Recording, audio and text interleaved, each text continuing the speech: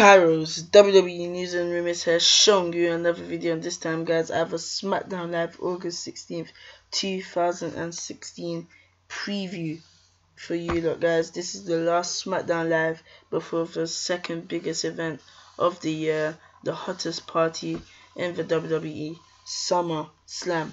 And this will be take, take place at Fr Frank Erwin Center in Austin Texas guys. And where to watch is on the USA Network or Sky Sports, guys.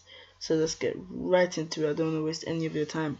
The Lunatic Fringe and the show off journey to Miz TV. As they prepare to go to war at the biggest party of the summer, WWE World Heavyweight Champion Dean Ambrose and his number one contender Dolph Ziggler will stand face to face with the A-lister edging them on. What could possibly go wrong? So, one, two, three, four, five. The top five quick hits well, number one, what will happen when Ambrose and, Zog and Ziggler come face to face on Miz TV? Two, can the face that runs the place rise above excellence itself? Three, the tag team and women's divisions continue to heat up. Four, will Heath Slater be back for another try at SmackDown Live?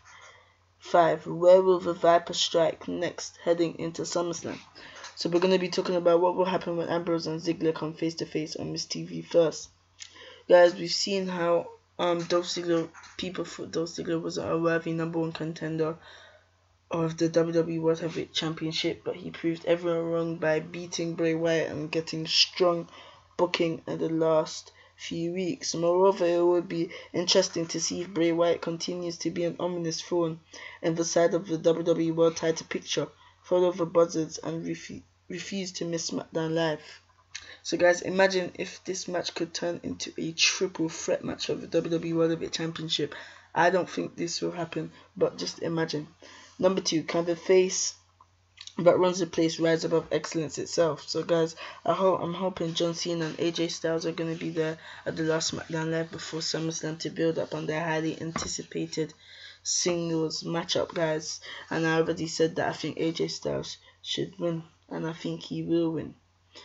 Um, last month um, WWE.com has learned that John Cena will be in action tonight, squaring off against longtime adversary Alberto Del Rio. So it looks like two people, two big superstars that are rusty are gonna go against Alberto Del Rio. We're gonna see the same booking like last week. Is he gonna hit John Cena with a chair like we saw when the Orton face Alberto Del Rio? Last week. In case you don't remember, Del Rio just so happens to be the guy who ended Cena's historic reign as the United States champion at WWE Hell in a Cell in October 2015, which is very true. To say there's some bad blood would be an understatement, and if Cena's not careful, he will be walking into his SummerSlam bout against AJ Styles with a broken arm. Then again, will the phenomenal one choose to wait for Sunday's showdown with the leader of the Cenation? After all, Styles is one superstar who enjoys taking advantage, any advantage he can get, guys. So I hope, I really hope AJ Styles and John Cena is on the show, and the tag team and women's divisions continue to heat up.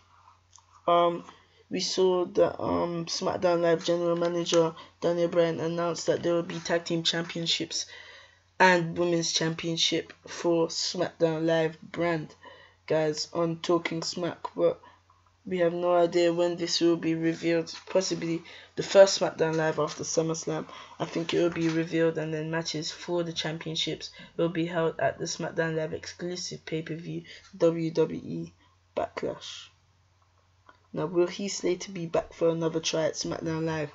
Guys, we saw last night Brock Lesnar taking Heath Slater to Suplex City. That was the best segment on Monday Night Raw in my opinion took him to Suplex City and F5 him.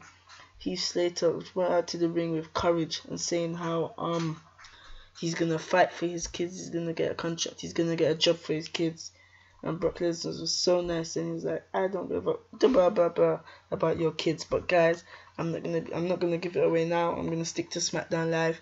That rule this rule review will be coming out tomorrow tomorrow afternoon because right now in the UK it is 12:53 and SmackDown Live starts in 7 minutes so hopefully I am allowed to watch SmackDown Live at 1 a.m. So that's it and I think Heath Slater will be on this SmackDown Live show and we'll see what Daniel Bryan and Shane McMahon have planned for him to try to earn his WWE contract. Where will the Vipers strike next heading into SummerSlam? As I said, we saw Brock Lesnar get a strong build on Raw, so I think they need to top it up on SmackDown with Randy Orton destroying someone. You just need Randy Orton to destroy someone. In the last few weeks, Dean Ambrose on the Stone Cold pod podcast and Daniel Bryan on Talking Smack have alluded to Rose Brock Lesnar's laziness due to the infrequency which he competes. While we would never ever use that word to describe the Conqueror, one can never make such a statement about the Beast Incarnate SummerSlam opponent Randy Orton. Since returning to WWE, the Viper has been quite busy taking out the likes of Chris Jericho, Intercontinental Champion The Miz, and Alberto Del Rio. So which superstar will be the next to make a pit stop in Viper, Viperville en route to Orton's epic clash against Lesnar at the biggest party of the summer, guys? So that's the top points for WWE SmackDown Live tonight, guys. SmackDown Live is starting in six minutes now. So that's it for this video. Make sure to share it all over the internet. Make sure to RKO that like button, Dirty Deeds that like button. Make sure to comment, reply to all of your comments, and subscribe.